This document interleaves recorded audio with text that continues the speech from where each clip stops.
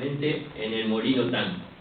El motor tendrá como fin ubicarlo como emblema de nuestra ciudad industrial en la rotonda de ruta 14 y 8 cuando dicha rotonda sea transformada en rodoviaria.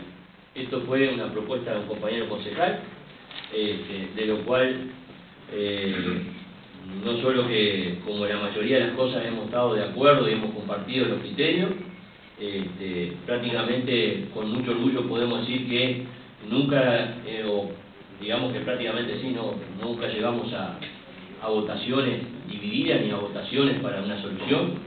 Así que este, en esto lo, estamos de acuerdo y compartimos una de las propuestas de eh, la rotonda hacia la rodoviaria para minimizar los, los accidentes este, carreteros que allí existen.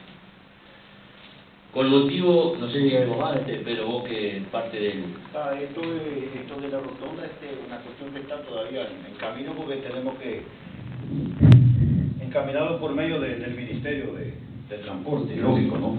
Pero creemos que si podemos llegar a esa concreción se va a terminar con ese tema de los accidentes que nos ha costado unas cuantas vidas.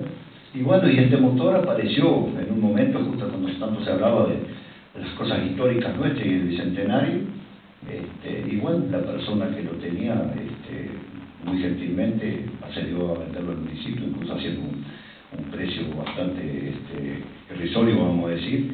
Y bueno, seguramente si logramos este, esa rotonda, eh, ese motor va a estar enclavado en el centro, allí a la entrada, y bueno, marcando, pautando justamente lo que es eh, José Pedro en la ciudad industrial. Yo le voy a dar, señor este alcalde, usted termine, después damos un concepto general.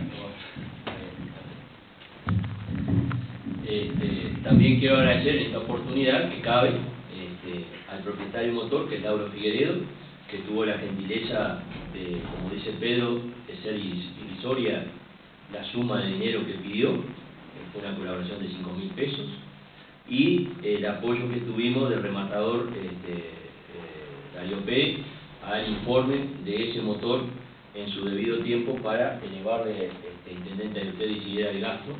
Este, eh, usamos el informe del rematador que con su experiencia y, en el tema este, logramos eh, de alguna forma consolidar este hecho.